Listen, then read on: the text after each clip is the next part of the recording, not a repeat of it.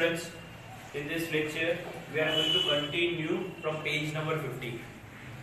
The last lecture we have seen the external environment as well as the internal environment.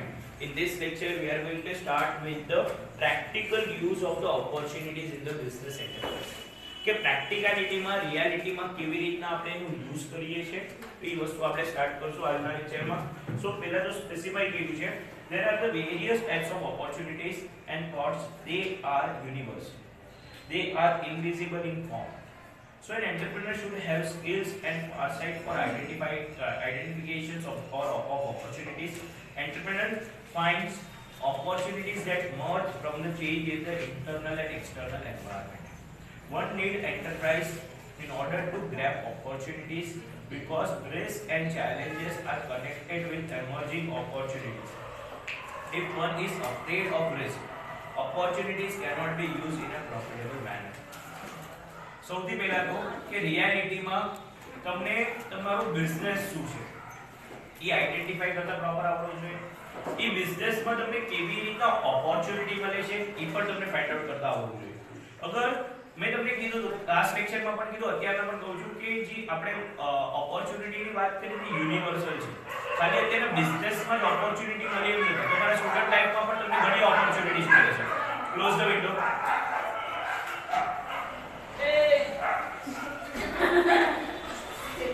સો અહીંયા આપણે specify કર્યું છે કે બધી જગ્યાએ ઓવરઓલ આપણે ઓપોર્ચ્યુનિટીઝ તમને માર્કેટમાં મળે છે.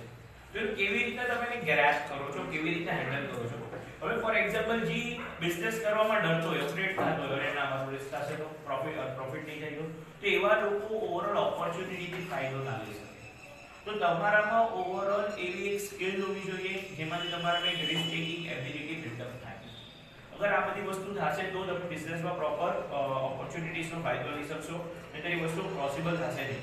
જેમ આપણે અન્ડરસ્ટેન્ડ કર્યા ઇન્ટરનલ અને એક્સટર્નલ ફેક્ટર્સ રિગાર્ડિંગ ધ કેવી રીતના આપણે હેન્ડલ કરવું જોઈએ એન્વાયરમેન્ટમાં શું વસ્તુ નડે છે સડન ઓપોર્ચ્યુનિટી તમને આવે છે, કેવી રીતના એને હેન્ડલ કરો છો ટેકનોલોજીમાં શું ચેન્જીસ લઈ આવો છો એક્સટર્નલ પાર્ટ હતું. સડન તો આપણે કે ઇન્ટરનલ પાર્ટમાં કેવી રીતના તમે હેન્ડલ કરો. તો આ બધી સિચ્યુએશનને તમને મેનેજ કરતા આવડવું જોઈએ. તો એના માટે એ લોકોએ સ્કીમ સ્પેસિફાઈ કરી સ્વોટ analysis S W O T S એટલે સ્ટ્રેન્થ કે કેવી એન્ટરપ્રેનરમાં સ્ટ્રેન્થ છે? ડબલ્યુ એટલે કીધું છે કે એની વીકનેસ શું છે? કે આપણે લિમિટેશન્સ કહીએ. ડિસએડવાન્ટેजेस બધા લોકો હરેક વસ્તુમાં બેસ્ટ ના હોય. બધાની એક સ્ટ્રેન્થ છે, એક વીકનેસ છે. સ્ટ્રેન્થ કોઈને ઓવરઓલ મોબાઈલમાં ગેમ રમવું બહુ ગમે અને વીકનેસ ભણવું ગમતું નથી. તો આ બધાની ઓવરઓલ ક્યાંક ને ક્યાંક તમને ભણવું ગમે છે તો બીજું કંઈ કરવું નથી ગમતું. એટલે ક્યાંક ને ક્યાંક સ્ટ્રેન્થ છે અને ક્યાંક ને ક્યાંક વીકનેસીસ પણ છે. ઓપોર્ચ્યુનિટીઝ ઓ એટલે શું તમને માર્કેટમાં શું ઓપોર્ચ્યુનિટી મળે? છે કેવી રીતે તમે એનો બેનિફિટ લ્યો છો? અત્યારે તમારી ઓપોર્ચ્યુનિટી તમે એને યુઝ કરો છો, તમે ભણો છો. ઘણા લોકો નથી કરતા. બીજું કઈ કામ કરે સુવા સુવામાં ઓપોર્ચ્યુનિટી યુઝ કરે છે? તો આ બધી વસ્તુ મેટર કરે છે. થ્રેટ અને રિસ્ક એક ડર છે. અરે આ ના થયું તો મેં ભણ્યું ને હું પાસ ના થઈ ગયો. હું સુધી ને નીંદર પૂરી ના થઈ ગયો. તો એ શું છે? રિસ્ક છે. થ્રેટ છે. એવી રીતના બિઝનેસમાં પણ. તમે કામ તો સ્ટાર્ટ કરો છો. પણ એ ફૂલફિલ ના થયો તો કમ્પ્લીટ ના થયું તો અંદરથી એક ડર છે. તો એ એટલે કીધું છે, SWOT નો કમ્પ્લીટ ફૂલ ફોર્મ શું થાય? સ્ટ્રેન્થ વીકનેસ ઓર લિમિટેશન્સ પછી opportunities and threat risk clear so અહીંયા આપણે કીધું છે એના માટે સ્ટ્રક્ચર્સ એને એક્સપ્લેન કર્યા છે આપણે. ચાર સ્ટ્રક્ચર એક્સપ્લેન કર્યા ફર્સ્ટ કીધું છે strategies related to the production હવે તમારે ઓપોર્ચ્યુનિટી મળે તો તેમાં તમે સ્ટ્રેટેજીસ બનાવો.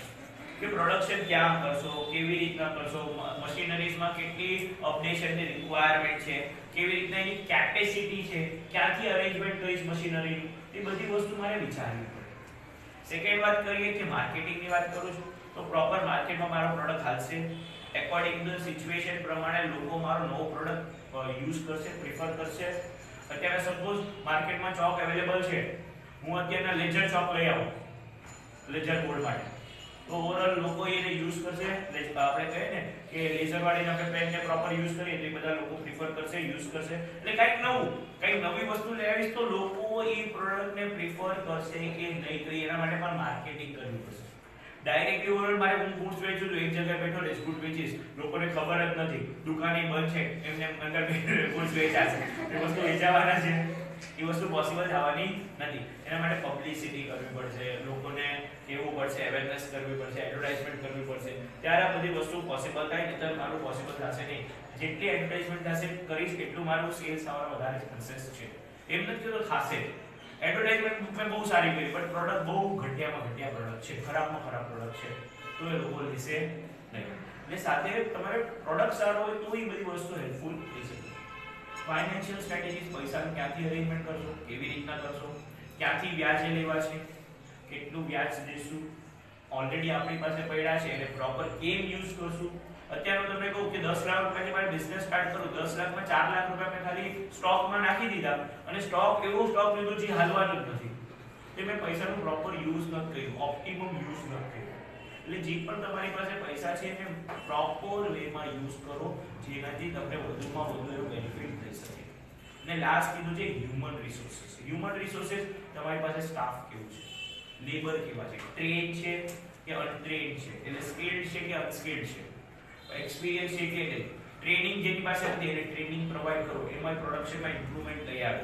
તો એચઆરની ટીમ હોય ને, એનું આ જ કામ છે કે ઓવરઓલ એનું સ્ટાફને પ્રોપર વેમાં બિલ્ડઅપ કરો. સંભાળો હેન્ડલ કરો મોટિવેટ કરો. જે પ્રોપર કામ કરે છે એને પ્રમોશન દેવું. તો આ બધું ઓવરઓલ કેનું કામ છે? HR human resources so total આપણે ચાર અન્ડરસ્ટેન્ડ કર્યા કે એના પ્રેઝન્ટેડ સ્ટ્રક્ચર એક તો production strategies second regarding the marketing third is regarding financial અને fourth is regarding the human resources clear yes or no પછી રિઝલ્ટ ઓપોર્ચ્યુનિટી શું થાય એટલે આનાથી આપણે આઉટકમ શું મળે? છે હવે આખા વર્લ્ડમાં આપણે જે વાત કરીએ કે અલગ અલગ ઓપોર્ચ્યુનિટીઝ મળે, તો એનું એક આઉટકમ શું હોય કન્ક્લુઝન શું હોય. તો એના ઉપર અહીંયા એ લોકોએ આપણે ચાર પોઈન્ટ એક્સપ્લેન કર્યા creation of a new and diversified value એટલે તમે કંઈક નવું લઈ આવો છો. બીજા કરતાં કંઈક યુનિક અલગ. તમને ઓપોર્ચ્યુનિટી કંઈક મળે છે, તમે એનો બેનિફિટ લ્યો છો, તો તમે કંઈક સારું કે અલગ કરશો બીજા કરતા સેમ ને સેમ વસ્તુ કરવી ઓપોર્ચ્યુનિટી નથી. કંઈક અલગ વસ્તુ કરવી અને અલગ રીતે કરવી અને એનાથી આપણે કહીએ ને રિટર્ન્સ પણ એક અલગ આવે. એક્સપેક્ટેશન છે તેના કરતા સારું આપણે રિટર્ન મળે છે. તો એ આપણે કંઈક સારું કામ કર્યું છે. Creation of the diverse satisfaction તમે તમને ખુશી મળે છે. અલગ વસ્તુ કરીને પણ તમને ખુશી ખુશી મળે છે. ફોર એક્ઝામ્પલ અત્યારે મેં કંઈ પ્રોડક્શન કર્યું. અને એ પ્રોડક્શન કરીને લોકોએ એને યુઝ કરીને એને રિવ્યુ સારા છે તો એ લોકોને પણ સારું લાગશે અને મને પણ એક સેટિસ્ફેક્શન મળશે. આ સારું હોય અત્યારે માર્કેટમાં બહુ જ અત્યારના આપણા અહીંયા ઇટાલિયન ચાઇનીઝ આ બધી ફૂડ આઇટમ્સ આપણે પ્રિફર કરીએ છીએ. હવે ધીરે ધીરે આપણે કોન્ટિનેન્ટલની બધી વસ્તુ પ્રિફર કરવા માટે હું મારા હું જે બનાવીને ખંભાળિયામાં પ્રોવાઈડ કરું છું અને તમે બી એ ખાઈને તમને મજા આવે છે.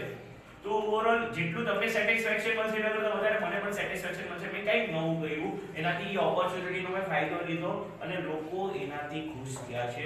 એક અલગ વસ્તુ આપણે કન્ઝ્યુમ કરવા માંડી અને એનાથી તમે બે લોકોને બીજાને કહેશો કે ના હાર્દિક સર કોન્ટિનેન્ટલ ફૂડ બહુ સારું બનાવે છે, ખાવું તો ત્યાં ખાવું. નહીં ખાવું નહીં. હોટેલ ખંભાળિયામાં ઘણી છે, પણ લોકો એમ આપણે હાઇજેનિક પોઈન્ટ ઓફ વ્યૂથી ક્લીનીનેસ આપણે ચોખ્ખાઈના પોઈન્ટ ઓફ વ્યૂથી પ્રિફર કરીએ આપણે કલ્યાણ કરીએ. ખાવું હોય, વ્યવસ્થિત ખાવું હોય, ભલે મોંઘું છે, પણ સ્વાદ અને ચોખ્ખાઈ બધી રીતે શું છે? સારું છે. તો એની આટલી હોટલમાં પણ એનો ઓપોર્ચ્યુનિટી ને માર્કેટમાં એને જે અલગ વસ્તુ લઈ આવવા એની એને ગુડવિલ બનાવી રેપ્યુટેશન બનાવી જાય એટલે ઓ ઠંડુ દીએ પછી કઈ ભેગું આપણે શું કહેવાય? વેફર્સ જેવું કેવું કઈ દઈએ જ્યાં સુધી ઓર્ડર દઈએ ત્યાં સુધી. પછી ઓર્ડર લેવા આવે. પછી બધું આવે. પછી ગપા ગપા આપણે ખાવાનું ચાલુ કરીએ. પછી નીકળી જાય. શું કહો છો? બિલ બિલ નહીં તો દેવું જ પડે. Appreciation by change in factor from હવે તમને એપ્રિશિએટ તમે કંઈક અલગ વસ્તુ કરશો ને તો લોકો તમને એપ્રિશિએટ પણ કરશે ફોર એક્ઝામ્પલ આપણે જો factors has become possible by transferring of the iron ore uh, into the machines furniture from wood cloth from cotton etc with this appreciation of the firm manufacturer gets the profit and customer gets the satisfaction હવે લોકો મને appreciate ક્યારે કરશે હું કંઈક સારું કરીશ four example અત્યારે મારે આ ચેર બનાવી તો ચેર આ કેમાંથી બની પ્લાસ્ટિકમાંથી બની આ બેન્ચ બનાવી. બેન્ચ કેનામાંથી બની? લાકડામાંથી બની. લાકડું ક્યાંથી આવ્યું? આપણે કહીએ છીએ ટ્રીમાંથી બન્યું. તો એની પ્લાય બની પેલા પ્લાયથી ઓરલ બન્યું. પ્લાય કેમાંથી આવ્યું લાકડામાંથી તો એનું ફોર્મ ચેન્જ થાય છે. અત્યારે ડાયરેક્ટ આ ટી-શર્ટ છે. જે ઝાડમાં આવ્યું એટલે કાપીને પહેરી લીધું.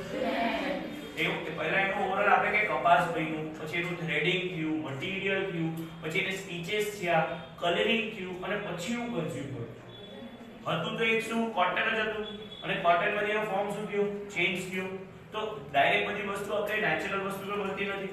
તો એનું કન્વર્જન ફોર્મ છે તો લોકો એને એપ્રિશિએટ કરે. ઓ આને બહુ સરસ કર્યું. આ સરસ બનાવી દીધું. આ સરસ આ વસ્તુ કરી. બેન્ચ એટલે બેન્ચ છે. તો એવી રીતના વસ્તુ આપણે ફોર્મ એનું ચેન્જ થાય તો લોકો એપ્રિશિએટ કરે. Large large automatic production system and possibility of the global market હવે નાવડેઝ છે એક તમને બે વસ્તુ એક્સપ્લેન કરું. આમાંના લઈએ એક માર્કેટ કહેવાય કેપિટલ ઇન્ટેન્સિવ અને એક કહેવાય લેબર ઇન્ટેન્સિવ આ તમે ઇલેવન ટ્વેલ્થમાં શીખા છો, ગુજરાતીમાં શીખા છો એ વસ્તુ ઇંગ્લિશમાં બોલો કેપિટલ ઇન્ટેન્સિવમાં શું થાય? કે ત્યાં મારું મશીનરીમાં વધારે ઇન્વેસ્ટમેન્ટ છે લેબરનો ફોર્સ ઓછો છે. એટલે યાર જે મજૂર હોય ને, એ ઓછા કામ કરે છે, વધારે કામ મને કોણ કરે છે? મશીન્સ અને લેબર ઇન્ટેન્સિવમાં અહીંયા મશીન્સ ઓછા છે, અને વધારે કામ કોણ કરે છે? લેબર મજૂરો હોય ને વધારે કામ કરે છે, એનો રિટર્ન છે તો અહીંયા ઈ કે ધીરે ધીરે આજનો ટાઈમ એવો છે, બધી વસ્તુ ઓટોમેટિક મશીનરી ઉપર ડિપેન્ડન્ટ થવા માંડી છે. તો એ આપણે ઈઝીલી અત્યારે તમે મોટી અમૂલની ફેક્ટરીમાં જાઓ, પાર્લેજીની ફેક્ટરીમાં જાઓ, ત્યાં એ લોકો ખાલી મશીનમાં ઇનપુટ દઈ દે ને ઓટોમેટિક મિલ્ક ને બધું પ્યુરિફાઈ થઈને એ લોકો કન્ટેનરમાં નાખી દે. પ્યુરિફાઈ થઈને પેકિંગ થઈને ડાયરેક્ટ વસ્તુ બહાર આવે. કે અડધા લીટરનું પેકિંગ એક લીટરનું પેકિંગ કેટલી બધી વસ્તુ શું કરે છે? મશીન્સ કરે છે. અને આ બધું ગ્લોબલ માર્કેટમાં એક્સેપ્ટ થઈ ગયું છે. ખાલી આપણા કન્ટ્રીમાં નહીં, બધી જગ્યાએ બધી વસ્તુ મશીન્સમાં થવા માંડી છે. પછી નેક્સ્ટ આપણે સ્પેસિફાઈ કર્યું. આપણે કહીએ તો પાર્લેજીમાં પણ એવી રીતે લોકો જે ઇનપુટ દેવાના મટીરીયલ્સ દઈ દઈએ, અને આઉટપુટમાં લે મારી એક કઝિન છે નોર્વેમાં છે તેમાં રોટલીનું પણ મશીન આવી ગયું છે, ખબર તમને? એ કેવી રીતે એટલે એ મારી એક ભાણેજ છે, ત્રણ વર્ષથી છે. યુઓરલ ઇનપુટ કે ને, બે રોટી, એટલે ઓવરઓલ એમાં રોટલી બની જાય અને આવી જાય. એમાં આપણે ઘઉંનો લોટ નાખીએ તો ઘઉં નહીં આવે. પછી બાજરાનું નાખીએ તો આપણે કહીએ ને બાજરાનો રોટલો ના પણ રોટલી જેવી ઈ આવી છે.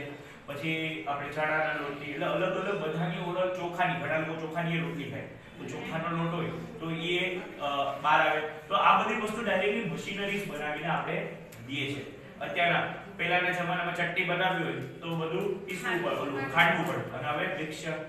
તો આ ટાઈમ જે ચેન્જ થાય કે મશીનરીઝનો આપણે ઓટોમેટિક વેમાં બધી વસ્તુ યુઝ કરીએ છીએ આ બધા ઓપોર્ચ્યુનિટીના લીધે આપણે બધું બેનિફિટ્સ મળે છે ટેકનોલોજીના ટર્મ્સમાં કેવું તો આ બધી વસ્તુ અહીંયા આપણે સ્પેસિફાઈ કરી છે. ચાર point reason you new and diversified values diverse satisfaction પછી next is change in appreciation. And last is automatic production system and possibility of the global market. Clear so તમારે રિઝલ્ટ ઓપોર્ચ્યુનિટી એકવાર નોટબુકમાં લખવાની અને page number 18 માં of identify- identifying opportunities for entrepreneur will start in next lecture okay thank you